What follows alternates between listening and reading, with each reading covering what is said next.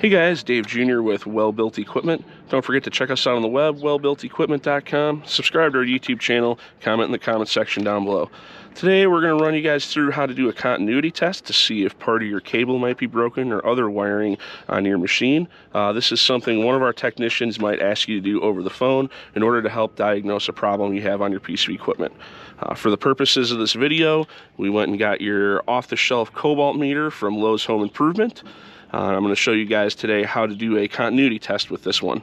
So first thing we're going to do is turn the dial over to this sound note here, which could be a music note if you already have a meter.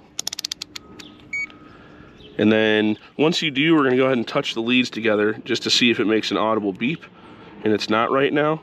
So in the case of this Kobalt, we're going to change the mode so that it is making an audible beep when they can't make contact.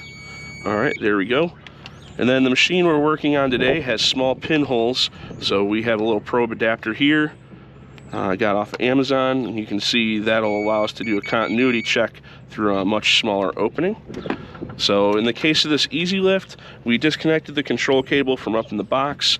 That cable goes up here through this weather tight that we already loosened, you can see, and then goes through to a multitude of electrical tape connections up here that we're going to be checking. On other machines, this might go to Wago blocks or terminal strips or butt joints, uh, maybe some plugs, kind of just depends on what the manufacturer decided to do.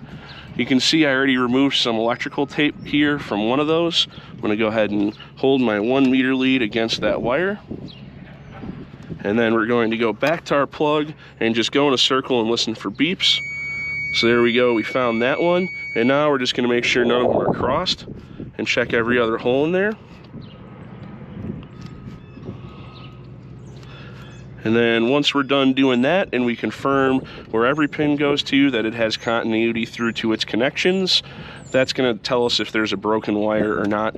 If one of them doesn't pass continuity through to a connection up in the box, then that would mean we have an issue between where this connects and where it terminates up here on top of the jib. Thanks for stopping by and watching our video, and don't forget to comment down below.